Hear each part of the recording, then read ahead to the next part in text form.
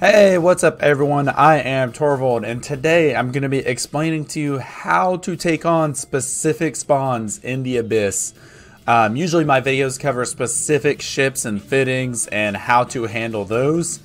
Um, I figured I've been I've been asked a lot about how to handle specific situations, so I thought I'd try this video out as a test to see if, uh, if it helps you all out. Um, in the Abyss, there are specific rooms that people have trouble with more often. Um, so here we go. The first one I'm going over is Karybdis Tyrannos. Uh, this is one that claims many capsuleers. Um, for simplicity, we're going to call Karybdis Karen. Uh, make this easier on me. But uh, this is one where people really struggle with because Karen has a giant cannon that does a lot of damage. And uh, whenever you come into this into a room with Karen, you have a um, a good 30 to 60 kilometer distance you have to travel along with cruisers. Um, so a tactic to handle Karen. Basically, what I do when I first get into a room is I automatically orbit at 30 kilometers. The gate, the uh, the bioadaptive cache, something just to get moving, just to get that initial movement going. And uh, while I'm doing that, you're just kind of assessing the cruisers. Um, while Karen is the biggest threat, the cruisers you got to take out specific ones depending on what your fit is and how um, how you operate. Um, in this specific video, um, with this fit, my biggest threat was the null chargers because they neut out. Um, so basically, what you're going to be doing, depending on your ship, taking out the biggest threat while making your way to Karybdis Tyrannos, kind of at an angle. So you're not going to fly directly at her. Um, you want to fly kind of at her at an angle, that way you can mitigate some of the damage.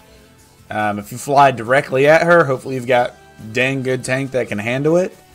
Um, but yeah, fly at her at kind of an angle in en route to her, unless you have the ability to start getting damage to her or there's no dangerous cruisers.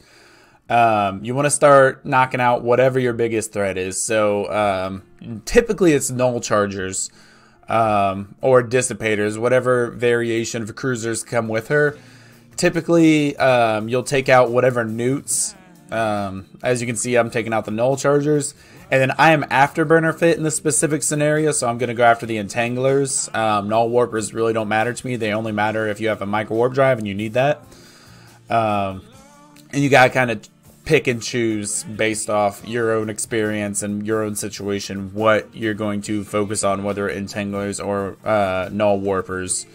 Um, once it comes down to it, but once you get within range of Karen, things get pretty easy from here. Um, she does move quite fast, and she is going to be burning away from you. She's going to try and get away from you a lot of times. As you see here, she gets right on the border and hangs out there. Um, so it's kind of a it's a dangerous um, dangerous like distance to go burning towards her. But as long as you're going that little um, you know not straight at her but that angle. And another thing to take into consideration, um, as you can see here, the blue cloud. Uh, blue cloud and then tracking pylons. Those are actually dangerous um, for Karybdis Tyrannos. So in your path en route to Karybdis Tyrannos, if you notice there is a blue cloud, you need to be aware of that. Um, if you get in that blue cloud, your signature radius blooms and she can hit you pretty easily. So make sure in your path there's not a blue cloud. And then if she is on a tracking pylon, be paying attention to that. There's not much you can do about that. Um, that's one of those things where you just you put some heat on your tank, put some heat on your prop mod, get closer to her. But once you get within range, um, once you get within range, she's not much of a uh, of a threat. It's just a matter of taking her down. In Gamma Sites, she does have that hyped up shield uh, bonus, so you got to be, you know, you have to apply more damage to her to be able to kill her. Um, you know, Firestorm's armor doesn't really matter. She is shield tank. But um, that's basically the gist of it. Just get under her guns um, and then get that orbit on her. She hits for a lot. Just imagine one giant gun strapped on the front end of that, and it, it's not easy to hit you, but if it does, it hurts. So you just want to get under that giant gun um, to avoid that damage. And then while you're doing that, you also want to be, uh, while you're maneuvering under those guns, you want to take out whatever cruisers are most um, dangerous to your ship. Um, Karybdis Tyrannos, you know, you can see that I moved pretty slowly, so time actually was kind of an issue here. Um, but I did complete it in under six minutes. Um, use heat. Heat's important. Um, heating your tank if you have to burn straight at her. Heating your prop mod to get that, you know, to get that distance faster. But uh, that's how I deal with Karybdis Tyrannos. It's it's basically the gist of it. Um, a lot of people have issues with her. Um, yeah, definitely focus on whatever cruisers are most are most dangerous to your fit. Um, while you're going that distance to get under her guns, and then get under her guns. If you got a web, um, that helps a lot. Because she does move quite fast for a battleship, so uh, web her. But as long as you can orbit her and keep a you know keep that distance. If you're going at least double her speed that way you can you know keep that orbit. But that is that is Karybdis Tyrannos um, a big killer in the abyss but that's how I handle that and that's some uh, things you can do to uh, to take that on. Um, after this another room and this one actually isn't hard but it's one I'd figure I'd show y'all. Leshak rooms. Um, Leshaks are actually, whenever I come up against Leshaks, they are the easiest rooms. They are the quickest, in my opinion. Um, initially, burn straight at them. Um, you don't really need to worry about mitigating the damage by flying at an off angle. Just burn straight at them. Um, I actually don't do it here, but you should probably overheat your prop mod just to get under them. Um, Starving Leshak is a huge, huge pain. Um, you you want to bring down the starving Leshak first because they the amount that that thing neuts out for is a lot. So your number one priority, burning at them as quickly as possible, killing starving Leshak. Um, that is your number one goal. Your cap will suffer greatly. Ignore this is my first time flying this fit. Ignore uh, I I was a little rusty when I was flying this and recording this. Um, but kill the Stone Leshak. You can see how easily they die. Now in Firestorms, these uh, Leshak rooms are a little bit more tough because they got hyped up armor. But same, just kill the kill Starvings. Kill them as quickly as possible. If you have the ability to apply distance uh, damage from distance, stay 50 kilometers away from them. From them. Um, that way you don't get those neuts on you. Stay 50 kilometers away until you get those renewing or those uh, starving Leshaks killed. Um, after starving Leshaks, renewing Leshaks. These guys do the most amount of reps, um, so they're most important to kill after the starvings.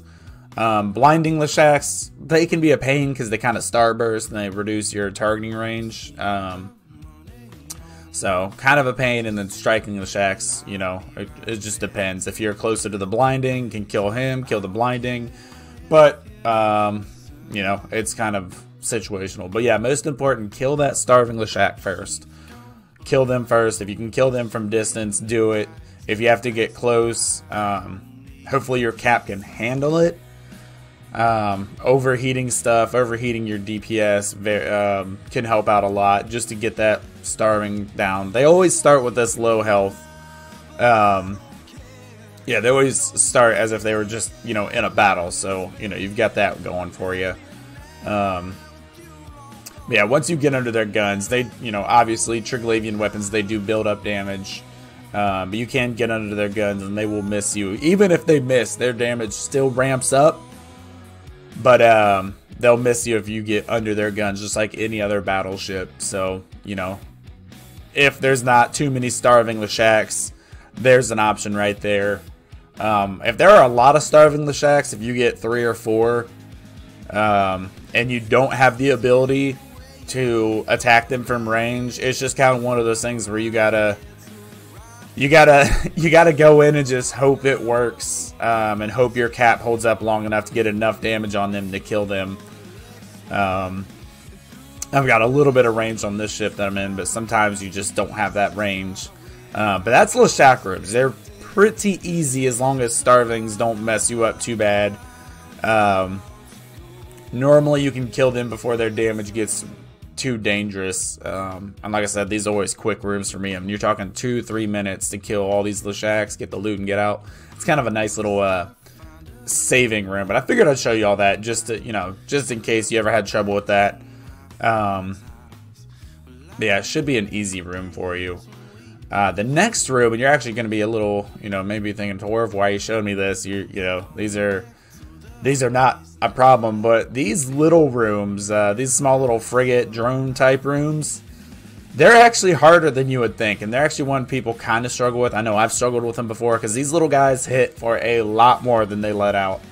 Um, but in this specific scenario, I'm flying the um, the Munin, and you know, with with any kind of projectile weapon, um, these little guys are you know kind of scary because you have to apply damage to them. Or if you're using heavy assault missiles, application is probably your biggest issue here. And granted, these guys do hit for quite a bit. Um, their damage, especially when you have so many of them, is really painful. But the tactic with these, and you know, it sucks because this is completely situational but you are relying on deviant suppressors or multi-body tracking pylons or blue clouds. You are, those are, um, you know, there's a chance you don't get any of those. But whenever I run into these, I rely heavily on all of those. Um, the tracking pylons increase your tracking speed, making, uh, giving you the ability to apply damage to these guys. Um, the deviant suppressor does damage to these guys, which, you know, the if you just sit on a deviant suppressor, it'll kill them for you. You just gotta chill on it.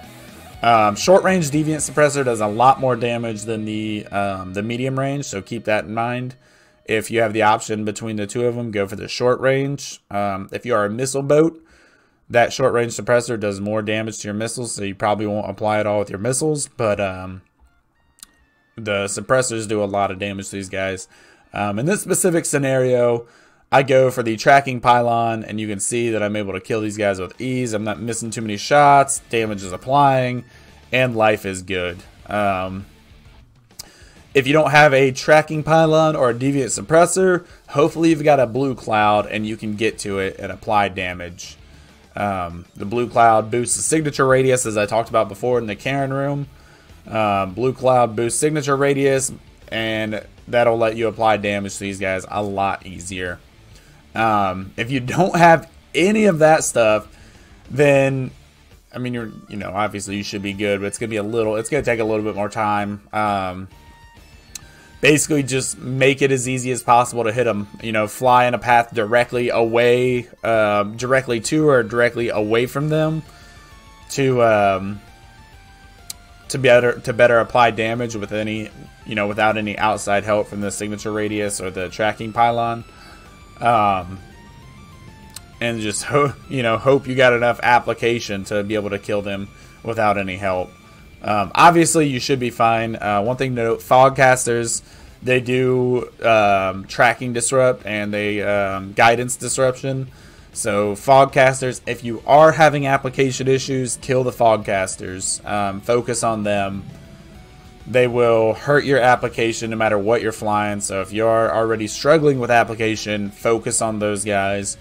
Um, usually, or faction ammo is usually better application and better tracking than Tech 2 counterparts. So one thing to keep in mind when you're flying these sites is yes, Tech 2 ammo has better DPS, but in scenarios like this, you need better tracking. Um, so or you need better application with your missiles, better tracking with your projectile ammo, or um, so usually you'll use faction ammo.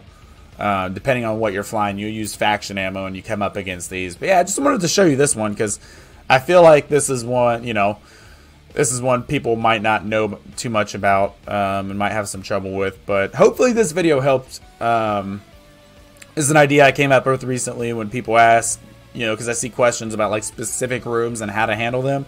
So I'm gonna do this for hopefully every room. Um, I'm gonna get footage of all the you know all the spawns. Um, but hopefully this has helped. If you like this, let me know. I want to, you know, if I need to keep doing these, I totally will. I, am probably going to continue. So hopefully they help you. Um, thanks for watching. I appreciate it. Thanks for all the support, and hopefully I'll get another one of these coming. Thank you for watching, and I will see you in the abyss.